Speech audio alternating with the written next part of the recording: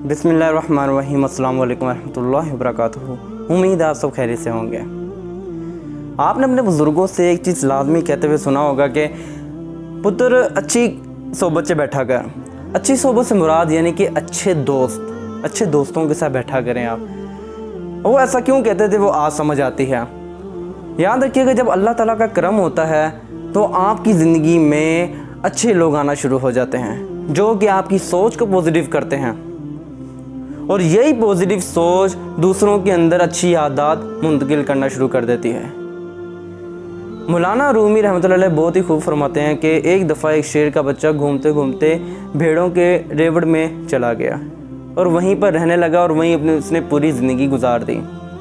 वो भूल गया कि मैं शेर हूँ। काफ़ी ऐसे बाद उसने शेरों के झुंड को देखा। तो देख के हैरान हुआ, ये तो मेरे जैसे दिखते हैं। इनके अंदर झलक, इनके तौर तरीके, इनकी आदात मेरी जैसी हैं। उतनी ही देर में एक शेर आता है और एक भेड़ का शिकार करके उसे खा जाता है।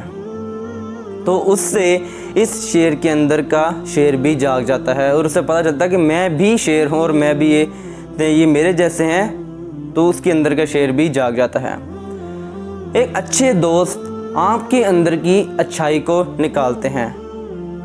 और अगर कोई गुनाह करता दोस्त आपका साथी है तो आपको भी गुनाह की तरगीब देगा। याद रखिएगा, एक लालची इंसान के अंदर इतना लालच होता है कि वो आपके अंदर भी लालच कन्वर्ट कर देता है, यानी कि आपको भी लालची बना देता है। और एक सखी इंसान के अंदर इतना सखावत होती है कि वो आपको भी सखी बना देता है। यानी कि आप दूसरे के अंदर की अच्छाई, आपके अंदर की छुपी हुई अच्छाई को निकालती है बाहर। यानी कि आपकी सोच ही पॉजिटिव हो रही है और आपको, आपकी ज़ात की नफ़ी भी हो रही है।